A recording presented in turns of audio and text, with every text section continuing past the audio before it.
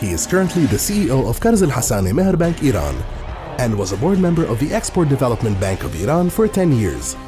As a high-profile banker, economist, and academician, he has created an impressive impact to revolutionize the banking industry while providing aid to empower impoverished families. At the helm of QMB, he is indeed proud to boast of having 3,000 young, committed, and competent employees at 540 branches to serve people from all walks of life.